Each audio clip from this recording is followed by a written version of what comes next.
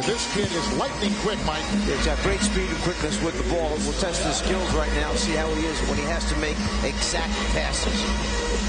Well, he leads all rookies in assists this season as he's playing for Milwaukee. Played overseas last year in Italy. He can shoot it, too. He already has a 55-point game in his arsenal from earlier this season with Milwaukee against the Golden State Warriors. Uh, he lost all the time that he had out Yep, front sure on the did. plus side. He lost it now.